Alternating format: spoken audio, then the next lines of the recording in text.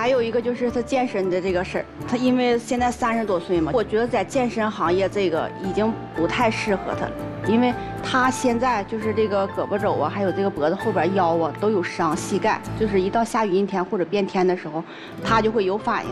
就这个我俩争执的特别特别的严重，而且你现在训练量太大了，都一天有的时候他要有时间都四五个小时，四五个小时练。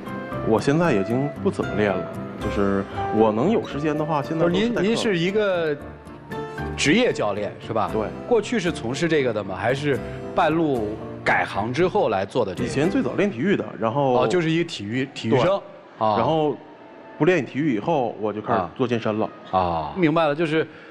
呃，妻子是希望说不要做那么危险的动作了，是这意思吧？注意一下保护身体，对，对一下保护自己。那你之前的伤都已经铸成了，咱们就是以后尽量避免再受伤了，或者是咱们可以适当的保护一下。我已经很保护、很注意了。我训练的量已经，呃，由一天大多数都是五个小时嘛，现在改成一天一个小时啊。而且晚上有时候就是跟会员出去应酬。听明白了，其实。也不怎么自律的训练吧，就是我就是不想让我的孩子往这个运动方面引，他呢就想往这个孩子运动方面引啊。其实吧，练运动不是说你干职业，我想让我姑娘做什么呢？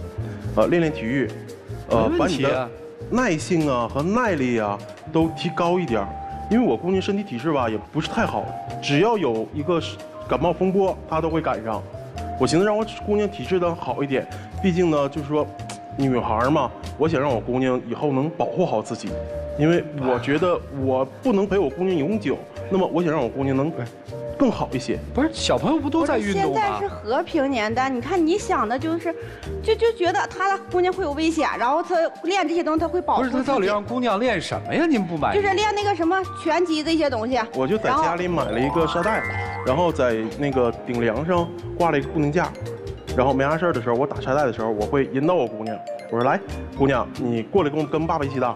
每次我说完这句话以后，我姑我媳妇儿啊，不管是在厨房也好，在哪屋也好，都会立马干啥呢？啊，你把那个撤下，给我换上秋千，打会秋千不好吗？啊，为什么练那个？把手脖子打错了，你能负责呀？这一辈子他还小啊。闺女多大呀？五岁。我想让他练练拳呐，或者是，呃，学学那个跆拳道啊，或者散打呀，都行，一个都不行。我俩因为这事儿就是跟父母在一起，我也没法说。他说不行，我就没法跟他犟。在外面吧，我也不想因为就是说这点小事儿，把我俩好不容易在一起的环境给打消。所以说这个事儿一直在搁浅。那就一直在再换一个双方认可的体育项目，让孩子锻炼锻炼身体，不就完了吗？其他的也保护不了自己啊。他现在学跆拳道的大了，他也保护不了自己。起码他有你让他自己有选择能力的时候，让他去选择，不就完了吗？你为什么一定按你的方式来呢？就是你的不一定对。嗯，对，我承认。